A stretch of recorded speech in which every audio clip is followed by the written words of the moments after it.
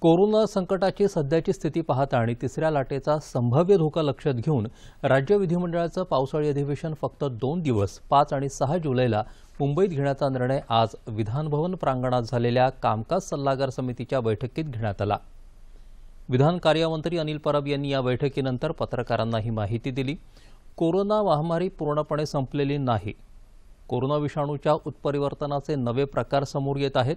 Corona संदर्भात ज्या प्रकारचे अहवाल आमच्याकडे प्राप्त होत आहेत त्यातील माहिती भयावह आहे.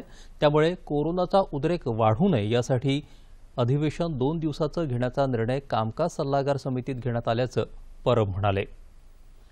अधिवेशनाच्या पूर्वी जी कामकाज पत्रिका तयार होते त्यात कामकाज दाखवण्यात येईल असं ते म्हणाले. कोरोना विषाणूचा संसर्ग होऊ नये म्हणून विधानभवनात अधिवेशन कालावधीमध्ये प्रवेश करणाऱ्या सर्व मान्यवर अधिकारी कर्मचारी सुरक्षा कर्मचारी यांनी लसीच्या दोन्ही मात्रा घेतल्या असल्या तरी अधिवेशन कालावधीत विधानभवन परिसरात प्रवेशासाठी सर्वांना आरटीपीसीआर कोरोना चाचणी सक्तीची करण्यात आली आहे.